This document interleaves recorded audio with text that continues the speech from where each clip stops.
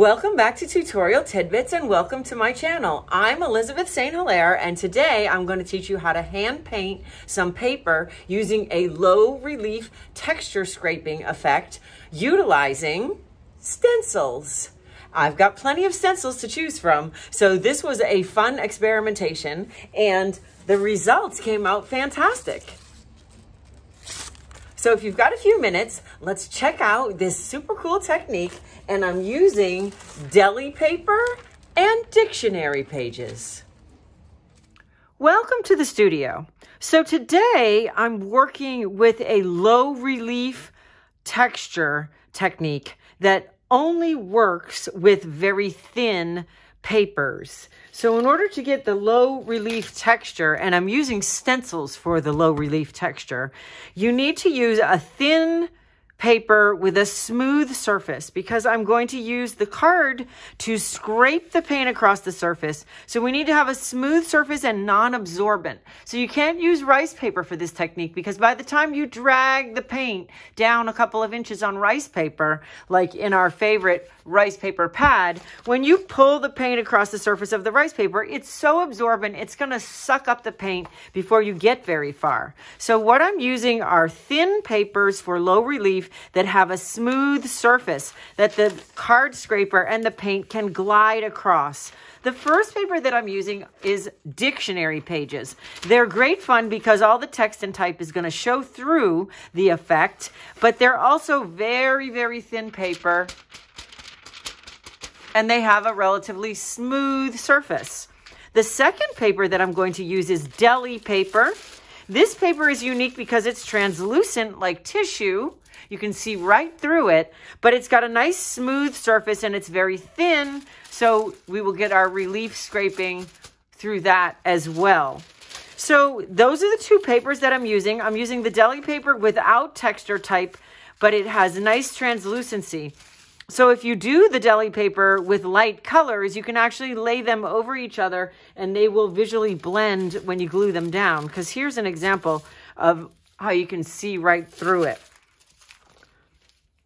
So the second thing that I'm using, the product that I'm using, are two of my stencils. One is a bunch of spirals, and this is called Klimt Memory. And then this one is from the Peacock collection, and I'm not sure of the title. It's, it's, it's escaping me right now. But it is these are both from my designs from joggles.com. And this is the last week of the big stencil sale at Joggles. So I thought I would do another stencil lesson in a different way than the gel plate because this is the last week of the 25% off all stencils at Joggles. It started on April 1st. It's going to end the end of April and it is um, an excellent sale because that's a pretty good discount. So, okay, so let's get started. I'm also going to use a sheet of palette paper to try, try to keep my surface of my desk sort of clean, although it's not all that clean ever. Um, and the first paper will be the dictionary page. So what you're going to need is, as I mentioned, a credit card, gift card, or room key and two colors of contrasting paint.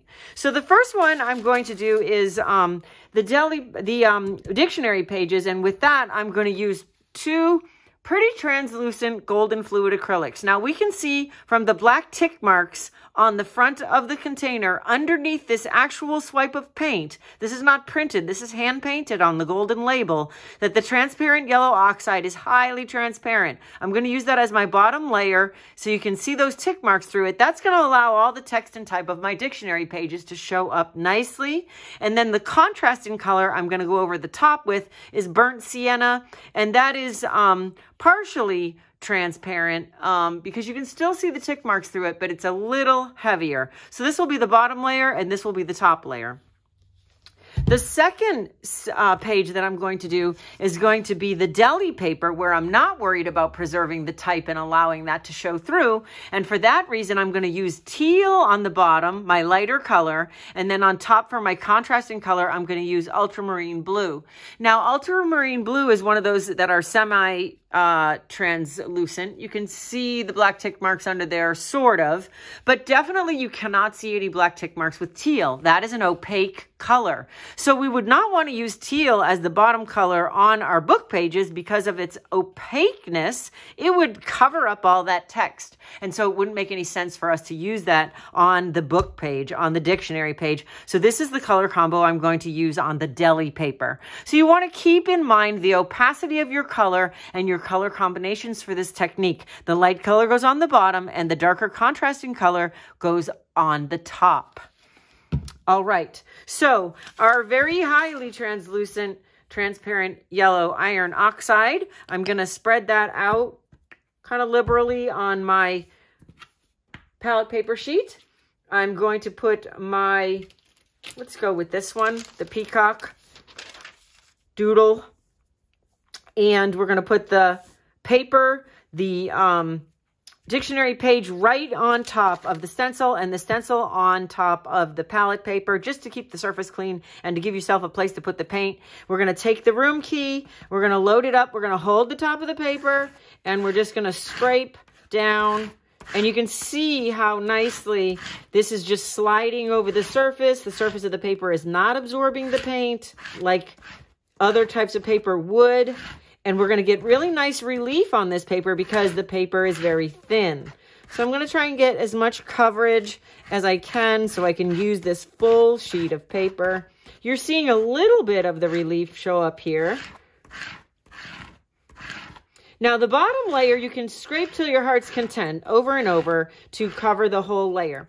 But when we come in with the top layer, you don't want to duplicate, you don't want to double up your scraping. You just want to scrape once to reveal the beautiful texture. If you come twice or two or three times, you're going to make it less um, contrasty and, and less successful. So keeping that in mind, I'm going to put out the burnt sienna and remember only to scrape once and not to keep scraping. So we want to make sure we got plenty of the burnt sienna on the card, grabbing from the top and scraping. And look at how that beautiful stencil texture just comes right through isn't that lovely? Now, resist the temptation. We're not going to go over it again.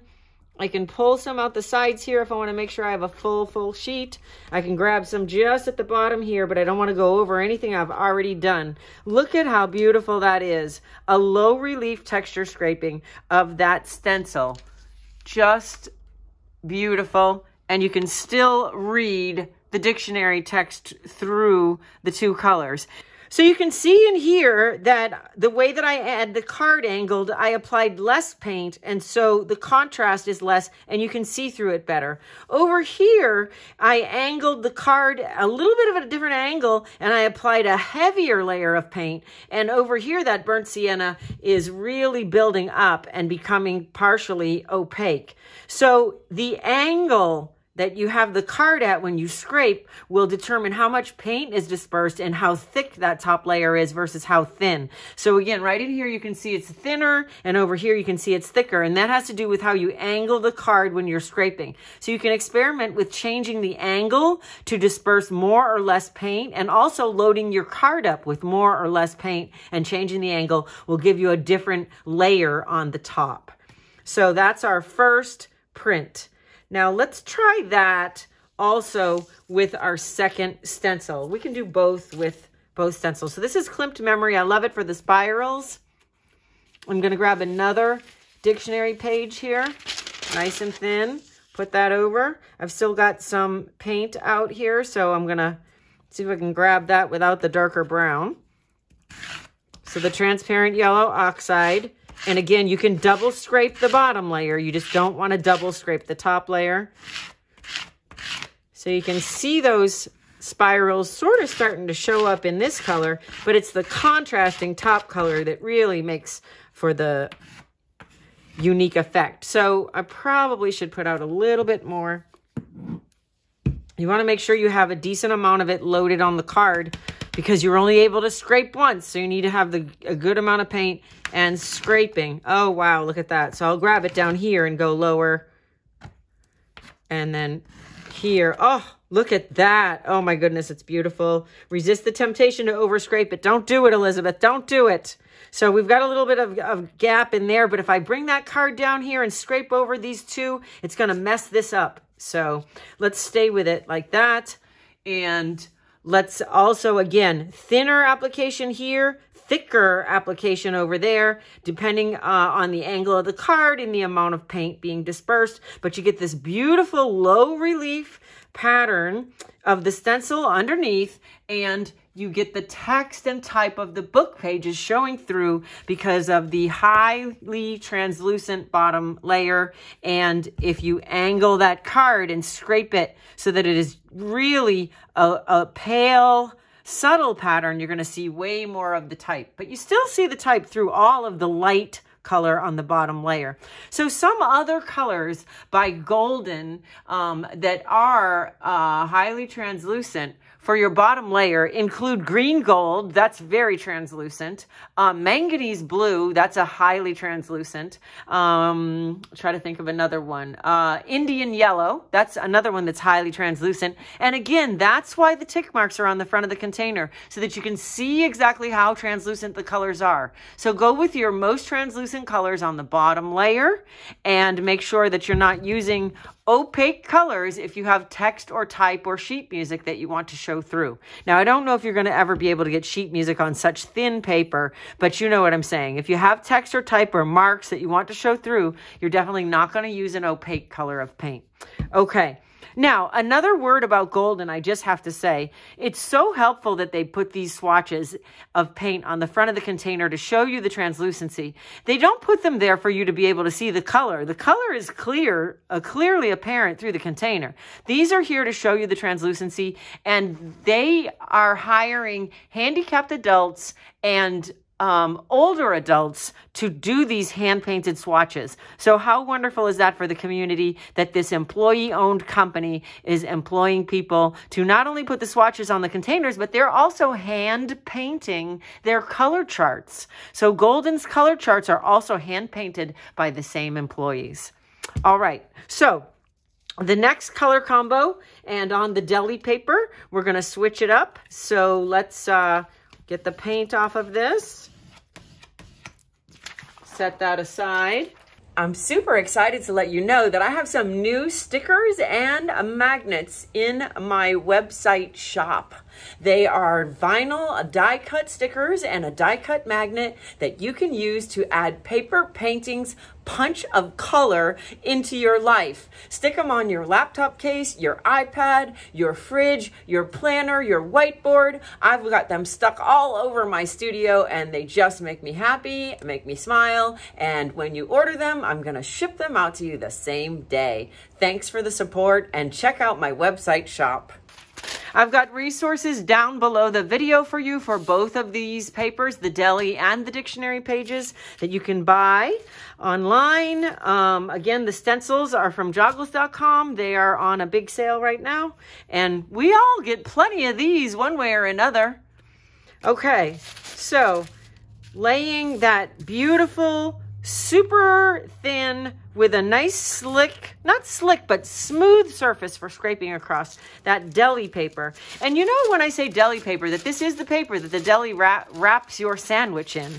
Um, so you can get it at Restaurant Supply, but they often want to give you a quantity that would take you your whole life to use up. So you can buy it um, with my resource below in smaller packages. So our base layer is going to be teal. So I'm going to put that out.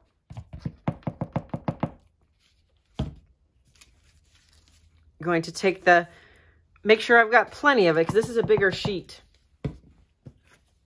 So scraping. If I'm going to use the whole sheet, I want to make sure I, I get color all over it so the whole sheet of paper is useful. So I'm scraping all the way down to the bottom and up towards the top here. Okay, that's good coverage.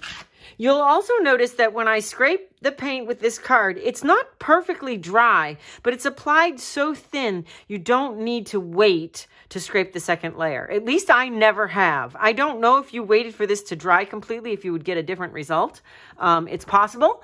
And if you do that, I would love for you to share below in the comments if you found it to be a different result. Um, I'd be curious, so let me know. All right. So yeah, let me know if you if you have uh, different um, results with letting the bottom layer dry. Okay. So we're going to come back with the second color is ultramarine blue. I'm going to make sure I get a little bit more of that out. Don't be stingy. I'm going to cover the whole page. Okay. So grabbing that wide on the card and scraping. Look at that. Beautiful pattern from the peacock stencil coming through. Now here, I've, I've missed, and I'm going to come back in, and you can see that somehow that kind of messes up the, the look. But you see, it worked really well in here. But if I double scrape, you can see what happens there. We lose sort of the, the relief pattern. Um, so it's always good to make a mistake so that you can see what happens when you do what I tell you not to. So I'm going to drag in here and I'm going to drag some more down here. And there we go. Let's see if I can get it in the middle here. There we go. And a little bit in here, but don't overdo it. Okay. We got a little paint left, um, but again, a beautiful sheet of paper. This is the Peacock Low Relief, look at that. And this is just because the combination of this very, very thin paper with that surface that allows us to scrape the paint across it. Isn't that gorgeous? And this is gonna make for great collage paper. All right, I love that. If you'd like to learn more about my stencil hanging and organization system that allows the stencils to be seen but not to get tangled, check out that video in the upper right hand corner on the stencil hanging system that I devised for my garage studio space. It's brilliant! So let's try this again with the second stencil, the Klimt Memory with the spirals. That everybody loves spirals and another sheet of deli paper. That'll give me an opportunity to use some of this blue that I squirted out. All right, let's wipe that off and start with the teal again. Who doesn't love teal? This is generally everybody's favorite color. Okay, so loading up the card like that and scraping.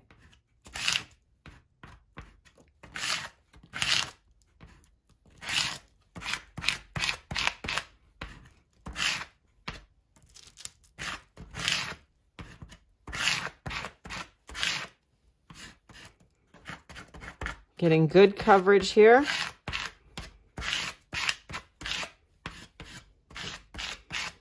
Remember, it's okay to over scrape the bottom layer, but not the top layer. The top layer, you just want to scrape once for the best relief texture. Okay, so putting out some more ultramarine.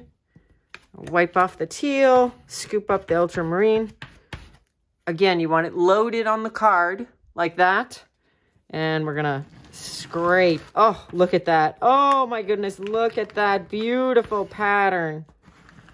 I just love this color combination. Beautiful. Beautiful.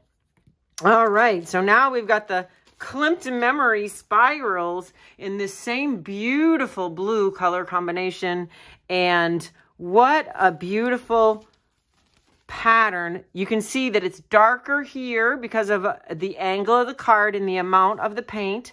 And then you can get into areas here where it's a little lighter because of the angle of the card and the amount of paint. So you'll have to play with how much paint and the angle of your card. And you'll also have to let me know if you let that bottom layer dry completely, if you get better, different, or the same results as I've gotten here with um, doing it basically as while it's still relatively wet. So excellent results with those.